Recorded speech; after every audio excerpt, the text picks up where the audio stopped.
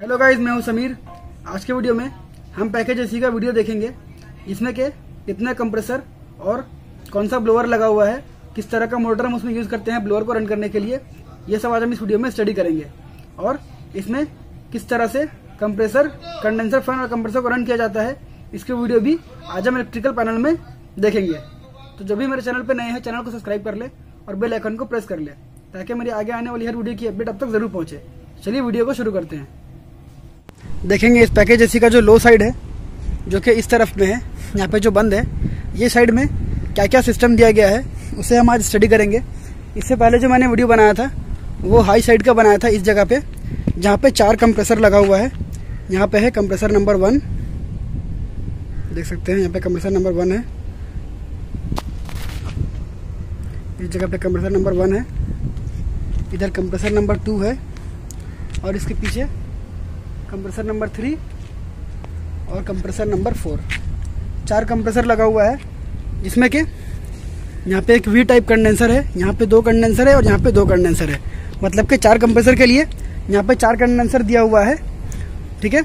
यहाँ पे ये यह लगा हुआ है एचपी स्विच और सक्शन लाइन पे लगा हुआ है एल स्विच आज हम इसकी इंडोर में देखेंगे कि किस तरह का मोटर हम इसमें यूज़ करते हैं और किस तरह का ब्लोअर इसमें लगा हुआ है? आज हम इस चीज़ को स्टडी करेंगे। ये, इस जगह पे ये मोटर है, जो कि एक सीमेंस कंपनी का मोटर है। देखिए, ये इसका पुली है, और इस जगह पे ये लगा हुआ है ब्लोअर जिसका कि ये जो फ्लाईव्हील है, ये ज़्यादा बड़ा है, जिस वजह से मैं इसे पूरा कवर नहीं कर पा रहा हूँ। और इसके अंदर ये ब्लोअर है।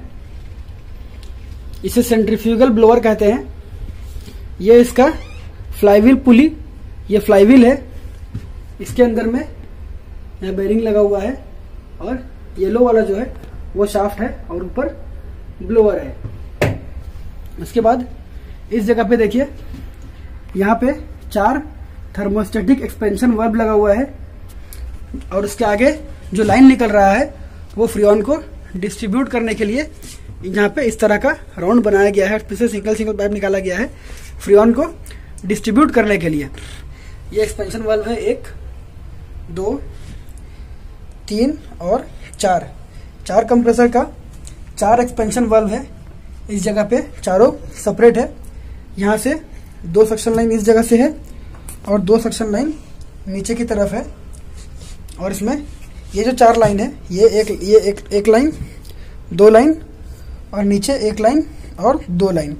ये चारों लाइन जो है, ये इस जगह से, ये सक्शन लाइन हो गया, और ये जो है, ये फ्री ऑन इन कर रहा है, यहाँ से, इस दोनों पाइप से फ्री ऑन इन कर रहा है एक्सपेंशन वाल्व से। एक्सपेंशन वाल्व से होते हुए, इस जगह से आउट होते हुए, ये इन करेगा कूलिंग कोयल पे। ये सामने जो है, यहाँ पे ये कूलिंग कोयल है, यहाँ पे एक कूलिंग कोयल है, और नीचे एक कूलिंग कोयल है। यहाँ पे टोटल दो कूलिंग कोयल लगा हुआ है। ये इसका ड्रेन ट्रे है। इस जगह पे ड्रेन ट्रे है। अभी ये सिस्टम ऑफलाइन है, क्योंकि इसका जो ब्रेकर है, वो ब्रेकर बर्न हो गया है। कोना में वहाँ पर से, वहाँ पर से एक ड्रेन लाइन लगा हुआ है।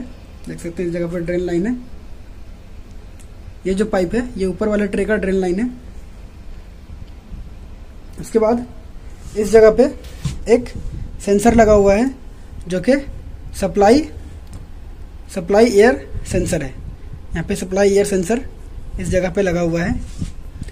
देखिए, यहाँ से वायर आया, इस जगह से, ऊपर से वायर आते हुए इस जगह से आकर ये सप्लाई एयर सेंसर का वायर इस जगह पे लग गया। मोटर का कनेक्शन इसके अंदर है, जो कि एक स्टार डेल्टा मोटर है। मतलब कि इस मोटर को स्टार डेल्टा वायर से मतलब कि पावर से रन करते हैं। यहाँ पे कुछ मोटर का डिटेल दिया गया है। जो कि अभी क्लियर नहीं है, इसलिए हम इसे नहीं देख पाएँगे। ये भी एक थ्री फेस मोटर है, जिससे कि हम इस ब्लोअर को जो ऊपर में जो ब्लोअर है, इस ब्लोअर को रन करते हैं।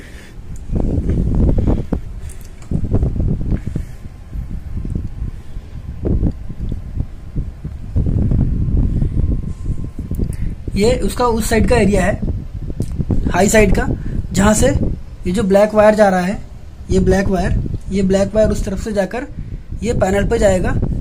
वीडियो के लास्ट में मैं आपको इसका इलेक्ट्रिकल पैनल भी दिखाऊँगा कि वो किस तरह का होता है और उसमें कितने कॉन्डक्टर लगे होते हैं इस सिस्टम को रन करने के लिए। मैं आपको ये बाहर से दिखाता हूँ। ये इस जगह पे ये रिटर्न लाइन है। ये जो रूम के अंदर से आएगा रिटर्न लाइन इस जगह से होते हुए यहाँ पे जो कूलिंग कोयल है सामने, ये इस कूलिंग कोयल से पास करते हुए हवा ठंडा हो जाएगा और ठंडा होने के बाद इस जगह से हवा ये ब्लोअर सक करेगा और ऊपर की तरफ़ सप्लाई करेगा।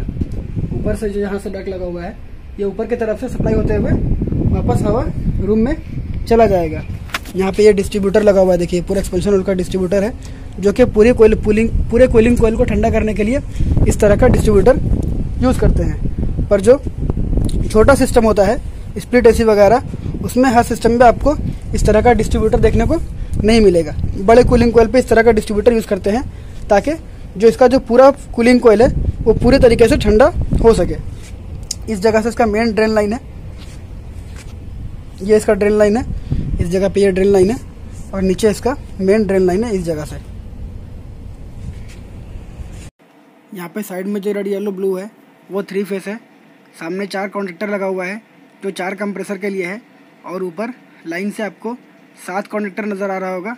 ये कंडेंसर मोटर और ब्लोअर मोटर के लिए कॉन्ट्रेक्टर है।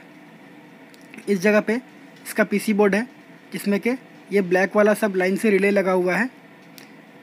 और यहाँ पे इसका स्क्रीन है, जिससे कि हम इसे ऑपरेट कर सकते हैं, और जो भी फॉल्ट होगा, वो इस स्क्रीन पे शो करेगा। यहाँ पे आप देख सकते हैं स्टार डेल्टा कॉन्डक्टर है और ये चार कॉन्डक्टर जो है, ये कंडेंसर फ़ैन के लिए है।